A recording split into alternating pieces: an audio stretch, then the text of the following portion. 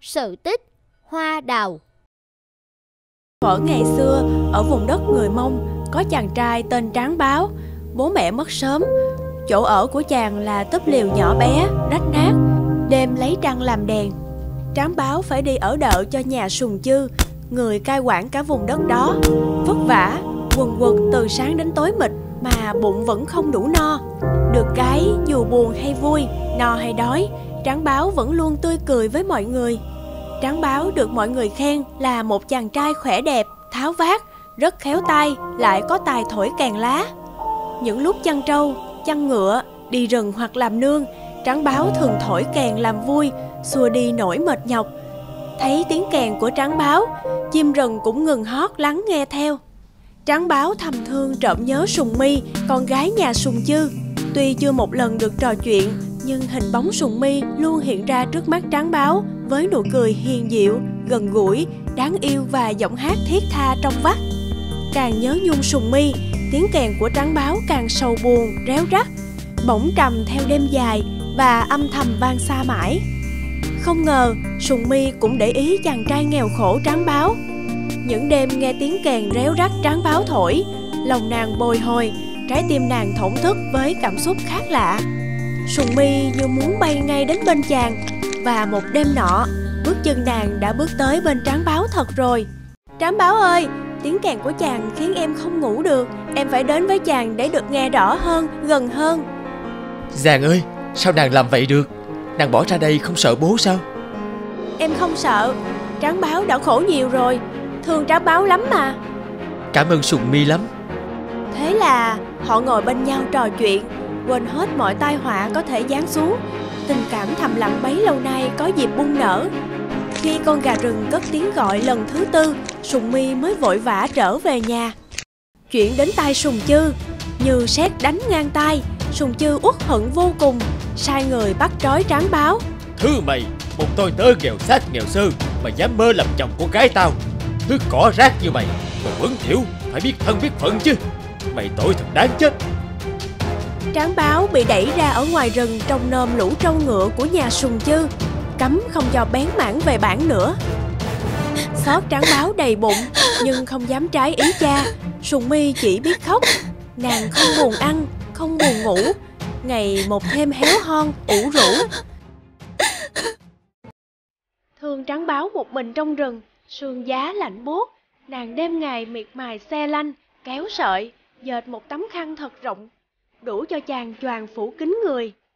Nhận tấm khăn xanh như lá rừng mà Sùng Mi bí mật nhờ người gửi đến, Tráng báo thấy hạnh phúc vô cùng. Ngày nào chàng cũng mang khăn ra ngắm nhìn không biết chán. Sương đêm đã ướt đẫm cây rừng, chàng choàng tấm khăn như thấy Sùng Mi đang vòng tay ôm lấy chàng. Những vết rớm máu vì trận đòn roi của Sùng Chư vẫn chưa khô trên người chàng thấm lên tấm khăn, chấm máu đỏ điểm trên nền xanh như những bông hoa nhỏ. Bỗng, một làn gió ập tới, và trong làn gió, Sùng Mi xuất hiện. Xa xa sau lưng nàng vọng lại tiếng tù và, tiếng ngựa đuổi theo. Trắng báo, mình phải liều thôi, phải trốn ngay thôi. Sùng Mi, có chuyện gì mà hốt hoảng thế? Nàng hãy bình tĩnh lại đã. Rốt cuộc là chuyện gì? Trám báo ơi, đến lúc phải liều thôi.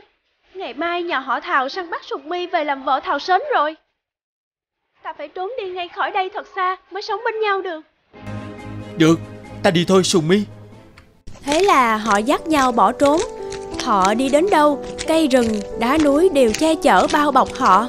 Họ cứ đi mãi, đi mãi, đến khi không còn nghe thấy tiếng tù và và tiếng ngựa đuổi theo họ nữa. Hai người ngồi bên nhau dưới ánh trăng lấp lánh trên đỉnh núi cao, choàng chung tấm khăn hoa và chìm vào giấc ngủ êm đềm. Khi tỉnh dậy, cả hai người cùng ngơ ngác trước cảnh thiên nhiên đẹp kỳ lạ. Rừng núi sáng lên với vẻ đẹp dịu hiền, nắng ấm trải vàng, rừng cây thơm ngát, vang rộn tiếng chim hót ca và tiếng suối chảy róc rách. Hai người nhìn quanh mà không thấy tấm khăn đâu, chỉ thấy ngàn vạn những bông hoa giống những chấm đỏ trên nền tấm khăn của mình. Những bông hoa đó tỏa hương thơm dịu dàng, tráng báo và sùng mi đoán. Đó là ý trời mách bảo hai người, đây là miền đất tốt lành. Họ quyết định ở lại nơi đó dựng nhà, hưởng cuộc sống tự do, êm ấm và hạnh phúc. Người ở các vùng quanh đó thấy đất tốt đẹp, họ cùng chuyển đến sinh sống, làm ăn. Lâu dần trở thành bản mường sầm uất, đông vui. Hàng năm, mỗi khi mùa sương mù gió lạnh tan đi, cây xanh lại nở ngàn vạn những bông hoa nhỏ màu thắm hồng chào đón nắng mới, đón mùa xuân tươi đẹp. Mọi người gọi đó là hoa đào. Khi mùa hè đến, hoa đào kết thành quả có hình như trái tim lồng vào nhau. Quả đào chín có màu đỏ hồng, vị thơm ngọt dịu dàng. Ngày nay, từ vùng núi cao xuống đồng bằng, từ miền ngược đến miền xuôi, đâu đâu cũng có hoa đào. Mỗi khi xuân về, nơi nơi hoa đào lại đua nở như một điềm báo của mùa hạnh phúc lứa đôi đang đến gần.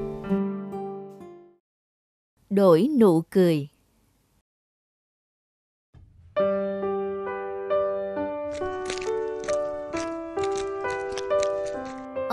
sao mẹ không kêu con ra phụ?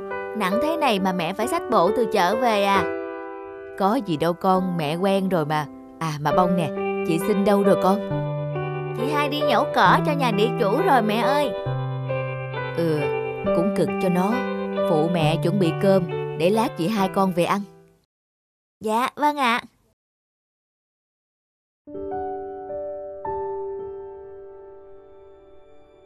Cha, cha nhớ cho con thêm tiền may áo mới nha. Áo này con mặc chán rồi. Rồi cha biết rồi. Mới mặc có hai lần mà than chán hoài. Nhưng không sao, cha giàu có thế này thì mấy chuyện đó có là bao. Cũng bằng tuổi mình mà sao con nhà người ta lại sung sướng thế nhỉ? Quần là áo lụa, muốn gì được đó. Còn mình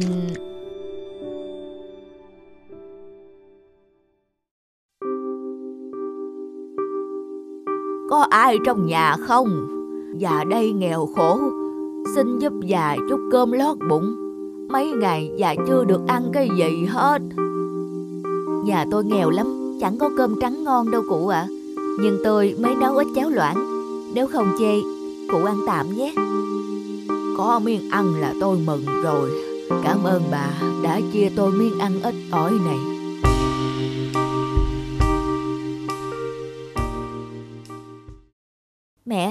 Nhà mình đã nghèo đến thế rồi, chẳng còn gì để ăn mà mẹ còn cho cụ già này ăn. Vậy chúng ta sẽ ăn gì hả mẹ? Có sao đâu con, giúp được gì cho người ta thì giúp, chỉ là chút cháo loãng thôi mà. Mình đã nghèo đến cháo loãng cũng sắp không có để ăn rồi, mẹ lại còn thế. Con nhịn đói luôn cho mẹ vừa lòng, trong cơn đói khát, bụng dạ nào còn để ý đến tình người. Để cảm ơn về bác cháu, ta sẽ giúp cô trở nên giàu có hơn Cô thấy được không? Ông có thể làm được điều đó à? Tôi chẳng tin đâu. Thấy cô có muốn thử không? Cô sẽ có được sự giàu sang và phú quý như cô mong muốn. Nhưng với một điều kiện, cô phải chấp nhận mất đi nụ cười của những người xung quanh dành cho mình. Cụ là bột phải không ạ? À? Ờ, đúng vậy. Không được đâu con. Nếu con người mất đi nụ cười, thì cuộc sống này chẳng còn ý nghĩa gì nữa. Xin, nghĩ lại đi con. Mẹ nói đúng đó chị. Có nụ cười thì dù nghèo vẫn thoải mái, vui vẻ. Chẳng điều gì trên thế gian này có thể mua được nụ cười đâu chị hai. Nhưng thay vào đó, con sẽ có quần là áo lụa như con của địa chủ. Thứ mà con xứng đáng có được. Con sẽ sống sung túc. Sau này có tiền, con sẽ chăm lo cho mẹ và em. Gia đình mình sống nghèo khổ suốt bao nhiêu năm rồi. Tôi đồng ý.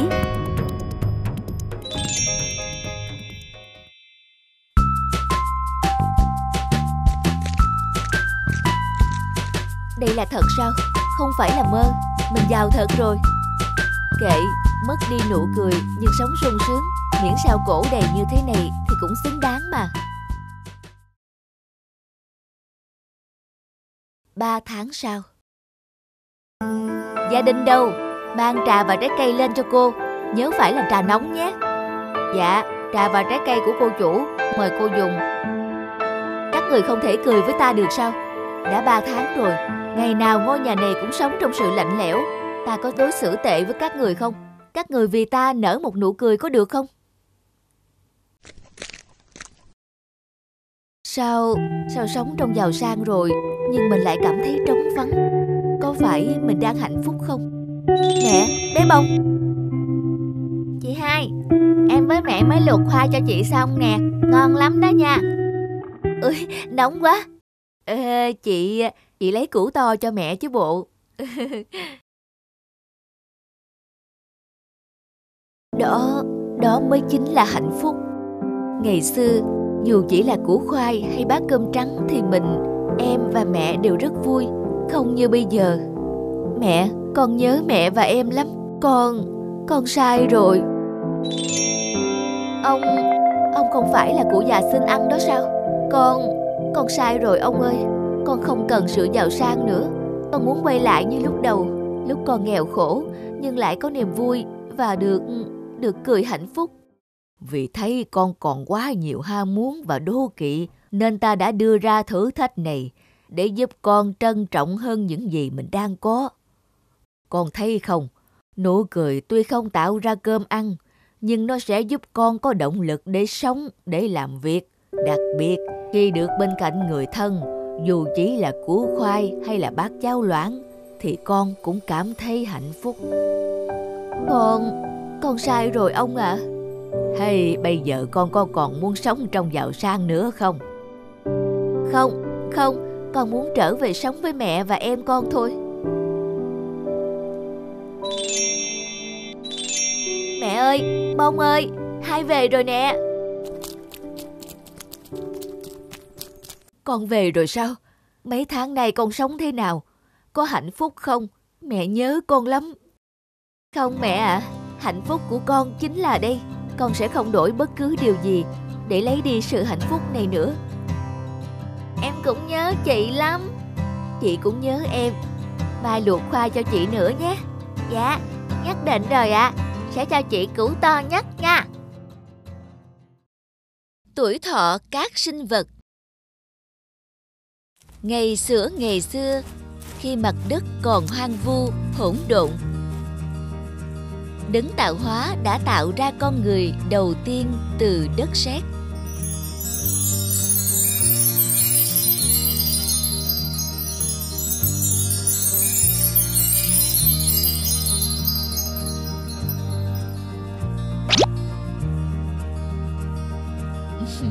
Đừng lo lắng chính ta đã tạo ra con và ban cho con sự sống giờ ta trao mặt đất hoang sơ này cho con con hãy chăm sóc nó để nó trở nên xinh đẹp và phong phú hơn. Thưa Thượng Đế, người đã ban cho con sự sống, vậy đó có phải là vĩnh hằng không? Không, đó là hữu hạn, con sẽ phải trả lại cho ta. Vậy thưa Thượng Đế, con sẽ được sống bao lâu ạ? À? Con có thời gian là 30 năm, hãy dùng chúng thật hữu ích nhé. Chỉ có 30 năm thôi sao? Thật là ngắn ngủi mình muốn có được một cuộc đời dài hơn nữa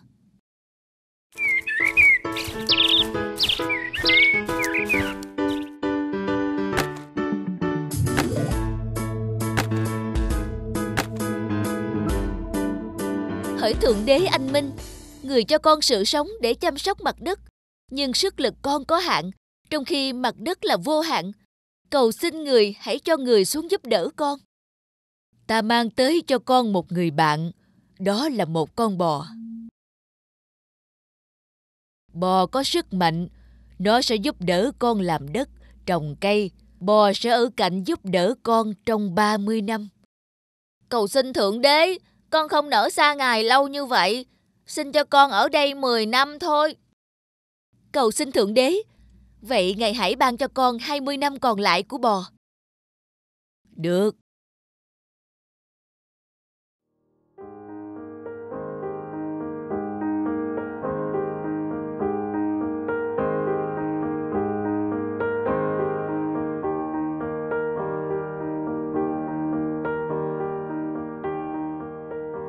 cầu xin Thượng Đế anh Minh, Ngài đã ban cho con một cuộc sống no ấm. Nhưng con không thể nào vừa đi làm lụng, vừa lại trông coi những của cải trong nhà. Cầu xin người ban cho con một người bạn để trông nom cho công lao vất vả của con. Ta lại mang tới cho con một người bạn mới, đó là con chó. Ta sẽ cho chó 30 năm sống cùng con. Cầu xin Thượng Đế, con rất nhớ mong Ngài. Xin Ngài cho con ở đây 10 năm thôi. Vậy cho con xin nốt 20 năm của chó. Hmm, được. Ở nhà trong nhà ngoan nhé, ta ra đồng đây. Cha, cuộc sống yên ả nhưng cũng thật buồn chán. Ta có một cánh đồng triểu hạt, vườn cây đầy trái, có bò giúp ta cày đất, chó giúp trong nhà. Nhưng mà tại sao ta vẫn cảm thấy buồn phiền? Cầu xin Thượng Đế anh Minh, người đã cho con sự sống, sự no ấm, an toàn. Con mạo muội xin hỏi, liệu người có thể ban cho con niềm vui không ạ? À? Hmm. Con cầu xin hết lần này đến lần khác, liệu rằng sự giúp đỡ của ta có làm con thỏa mãn không? Thưa Thượng Đế anh Minh, con xin cam đoan với Ngài, đây là lần cuối cùng con cầu xin.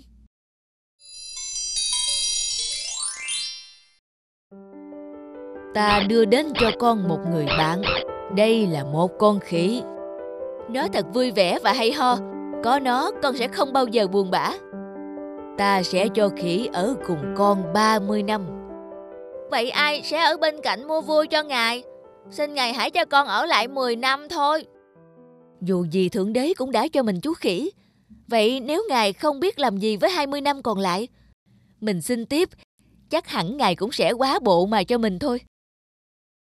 Vậy xin ngài hãy cho con 20 năm của khỉ. Người thật là tham lam, hết lần này đến lần khác, đòi hỏi và thậm chí còn cầu xin những thứ không thuộc về ngươi. Vì ngươi đã sống lâu như vậy. Được, hãy nghe đây. Ngươi có 30 năm cuộc đời, thêm 20 năm nữa của bò. Ngươi sẽ phải làm việc cực nhọc cho đến 50 tuổi. Sau đó, ngươi sống tiếp 20 năm của chó ngươi sẽ chỉ lanh quanh ở nhà chẳng đi đâu được, cho tới năm 70 tuổi. Cuối cùng là 20 năm của khỉ. Ngươi sẽ trở nên lắm cẩm và làm những điều nức cười. Đó là những gì ngươi phải trả cho sự tham lam của ngươi.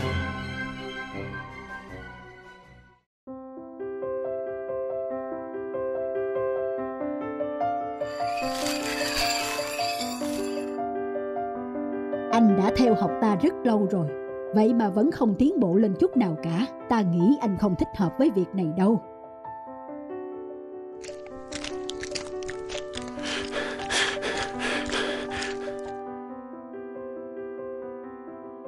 Này cậu kia Cứ lề mề như thế thì bao giờ mới xong hả? À, Dạ Tôi hơi mỏi lưng nên nghỉ một chút à Nghỉ? Lúc nào cũng nghỉ. Tôi cho anh nghỉ luôn. Ờ à, Dạ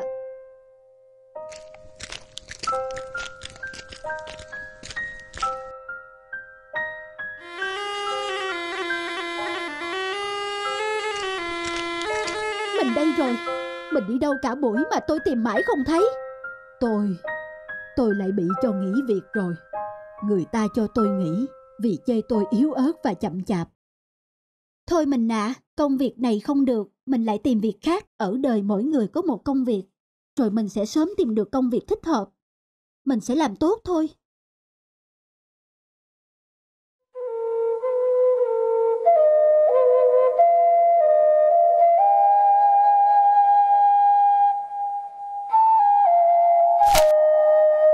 Mình định bỏ cuộc à? Không định đi tìm thử công việc khác sao?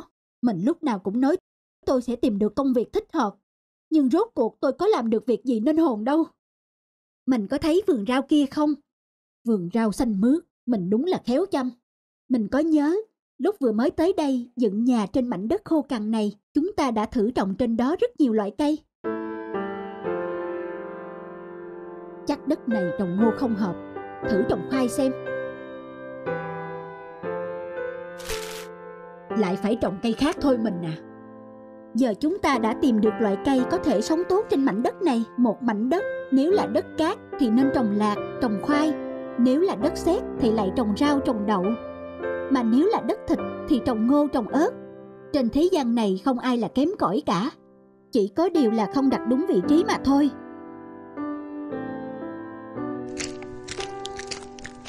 Chào anh chị. Chào bác trưởng thôn ạ. À.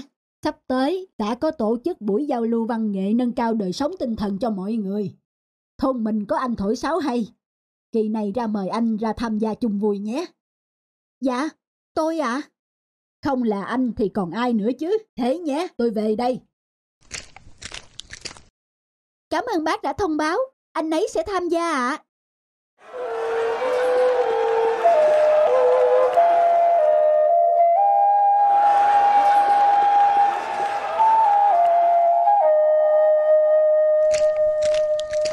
Chào anh, tôi là nghệ sĩ Dương Tân, anh thổi sáo rất hay.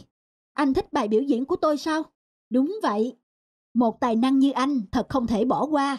Tôi sẽ giúp đỡ, đỡ đầu cho anh tiếp cận với âm nhạc.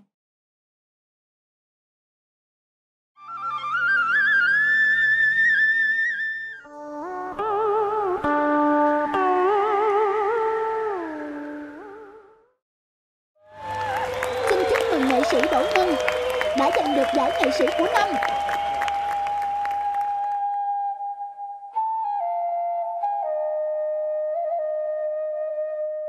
Màn biểu diễn này tôi xin được gửi tặng cho nghệ sĩ Dương Tân, người đã dẫn dắt tôi tới với âm nhạc và gửi tặng tới người vợ của tôi, đã luôn tin tưởng tôi khi tôi gặp thất bại khó khăn.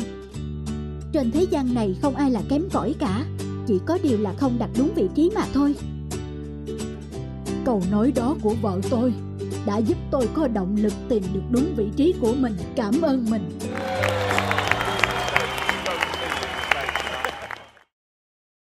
ba quả cam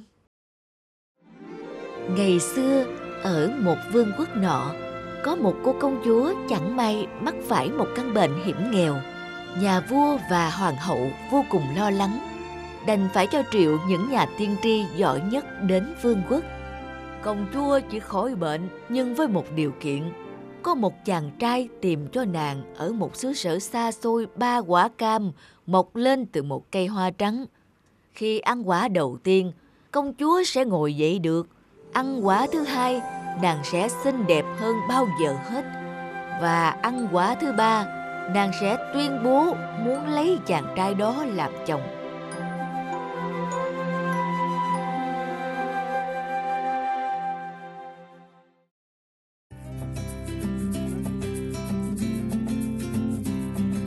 Ba quả cam ư?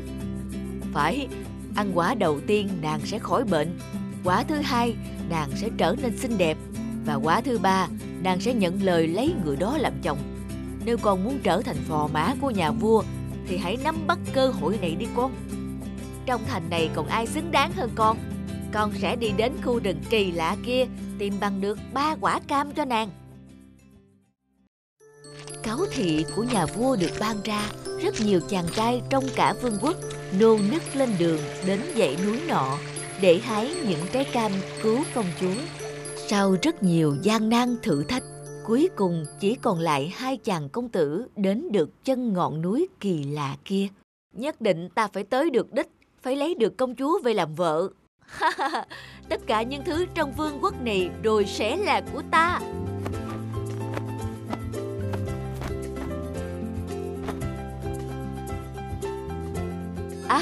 Đây đúng là cây cam thần kỳ rồi.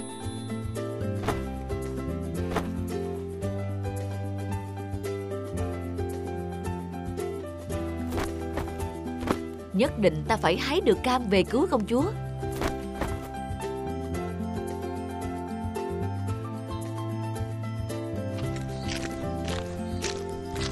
Nắng gắt cũng phải đi nhanh mới được. Mình sẽ là người đầu tiên mang những trái cam này về chữa bệnh cho công chúa. Khát quá Khát quá.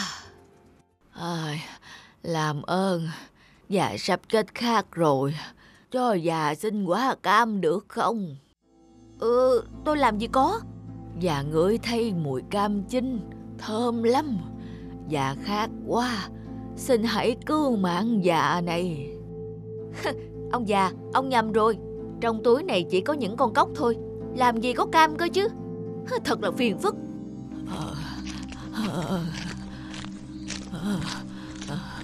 Giữa nơi vắng vẻ này Sao ta lại nghe tiếng rên đâu đây? Hay là có ai đó gặp nạn? À, Tôi khát nước quá Làm ơn Tôi chết mất. Đã mấy ngày nay tôi không được ngấm nước nào vào người rồi. Tôi không thể chịu được. Tôi sắp chết khát Quanh đây khô hạn quá, đào đâu ra nước bây giờ? Hay là ăn quả cam thứ nhất công chúa khỏi bệnh, quả thứ hai nàng sẽ xinh đẹp hơn, còn quả thứ ba nàng sẽ đồng ý trở thành vợ. Quả cam thứ ba để lấy được công chúa làm vợ. Thôi, ta có thể không lấy được nàng, nhưng nhất định phải cứu mạng sống của cụ già kia. Đây cụ ơi, cháu biếu cụ ăn cho đỡ khát à. Ôi, thơm quá. Dạ cảm ơn anh, chàng trai tốt bụng.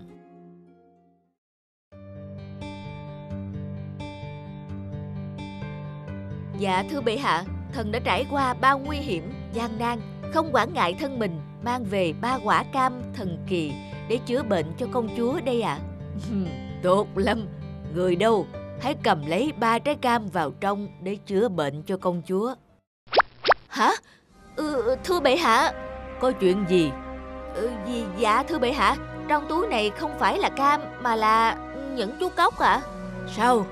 Vậy mà hắn dám nói Ừ, sao lại thế được Không thể thế này được Thưa thưa bệ hạ Rõ ràng là thần đã mang về những trái cam Không thể như thế được Người đâu Mau bắt giam kẻ lừa phỉnh này lại cho ta Dạ thưa bệ hạ Thần mang về hai trái cam quý Để công chúa chữa bệnh đây ạ à. Chàng trai trẻ Tại sao ngươi lại chỉ mang về hai quả cam Chẳng lẽ không biết rằng nếu mang ba quả, người sẽ trở thành chồng của công chúa ư? Dạ, thần biết chứ ạ. À. Nhưng... Nhưng sao? Dạ, trên đường về, thần gặp một cụ già. Cụ dường như đang hấp hối vì khát quá. Thần trộm nghĩ, trong lúc ấy tính mạng của cụ già là trên hết à. Còn mối duyên với công chúa, chắc có lẽ thần, thần chưa có được phúc phận ấy. Thưa cha, đây là một chàng trai kiên cường và giàu lòng nhân hậu. Dù chàng không mang đủ ba quả cam trở về, nhưng con vẫn nguyện lấy chàng làm chồng. Ừm. Hôn lễ giữa công chúa và chàng công tử nhân hậu được tổ chức ngay sau đó. Họ sống hạnh phúc bên nhau đến hết đời. Hãy like, comment, subscribe kênh để xem thêm những video mới nhất nhé!